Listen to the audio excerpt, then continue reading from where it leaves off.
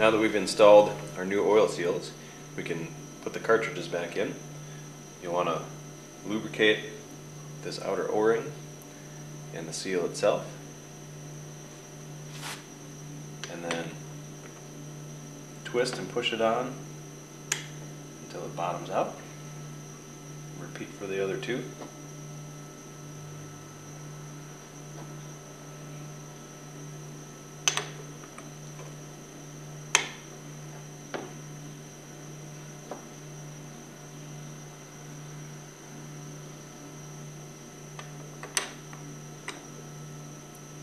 You be careful not to roll the lip of that seal over and pop the spring off of it.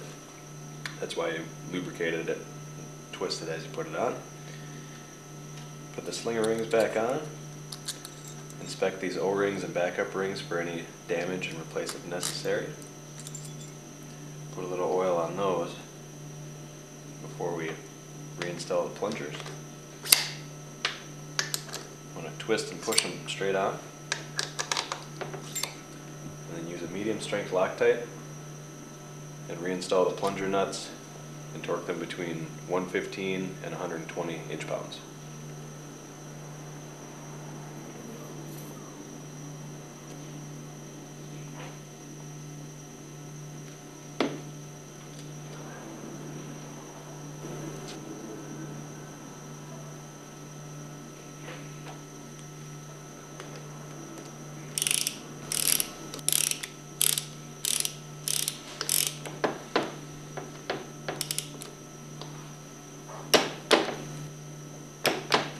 Wipe off any excess Loctite that's left over. And we can begin reassembling the head. Next, we'll put the valves back into the head. We'll want to reassemble these with the spring in the cage first, and then you want to face this poppet in this way, and then snap the seat back into the cage. We'll put our valve O-rings back in.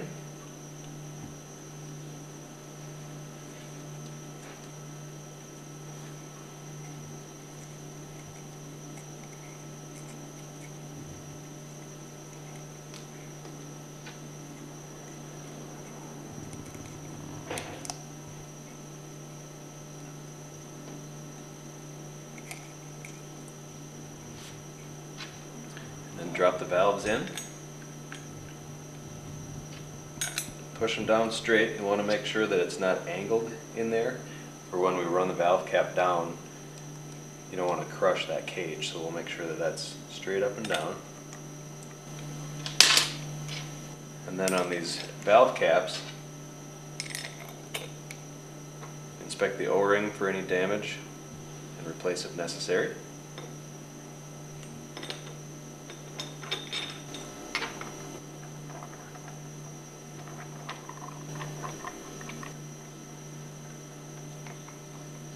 Then torque these valve caps to 85 foot-pounds.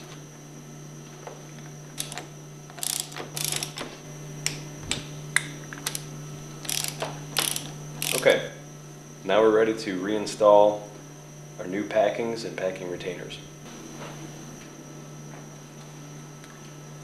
First thing we'll do is install the high pressure cups into the head. And what you'll want to do is put some oil on these cups and make sure that this groove is facing the head. Push it down into the head. Repeat for the other two. Groove facing the head.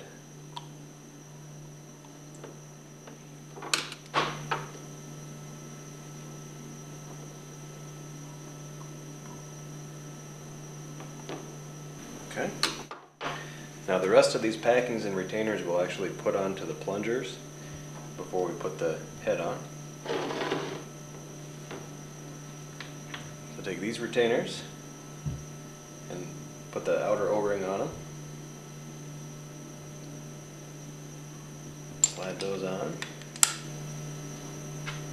Put oil on that on that O-ring. And then the next step will be to put these seal rings and these O-rings into these retainers. So put some oil on the sealer ring.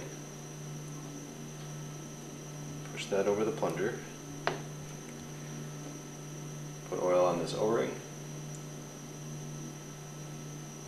And then take this washer and put it on. And we'll want to push that O-ring over the seal ring until that washer bottoms out.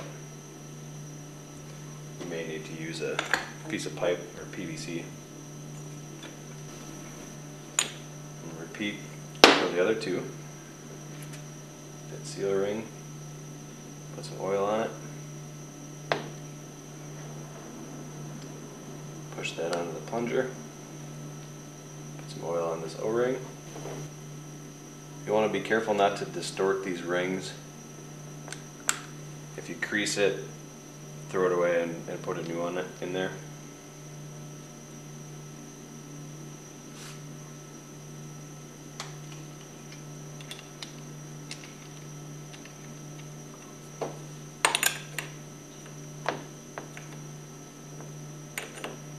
Okay. The next thing we want to do is install the low pressure seals into these cartridges. Helps to put a little oil on the outside. And then this groove on the cup faces up towards the tapered end of the retainer.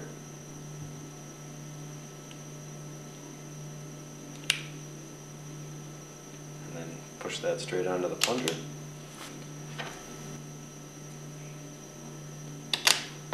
Next, put your backup rings back on.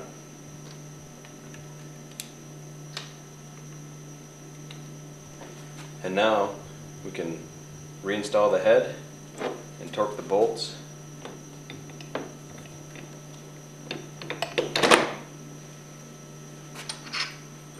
Reinstall the Allen bolts.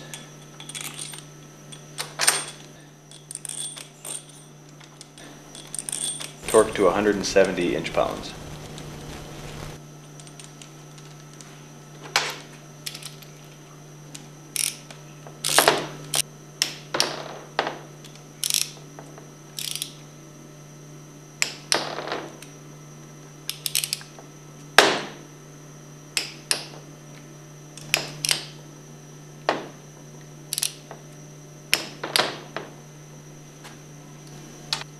Now that the pump is completely reassembled, turn the crankshaft by hand and make sure it turns nice and free.